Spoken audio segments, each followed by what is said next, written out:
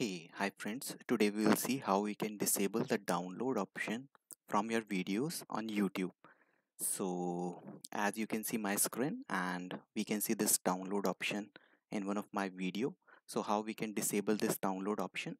So what you can do, you can just go to YouTube and then you can go to your channel and you can go to YouTube studio. Once you are here, then you can go to content and you will see whatever videos you have created. So click on the video. You just want to remove that download option. Just scroll it down. Go for show more option and just scroll above. So you will see uh, there is an option that you need to disable. So just scroll down. There is an allow embedding option. So just click on this option and make it disabled. And once it is done click on save. So that's it. And now if you'll go to your video and if you'll refresh your video then you'll see that that download option is no more here. So you can disable uh, this download option in this way. Thank you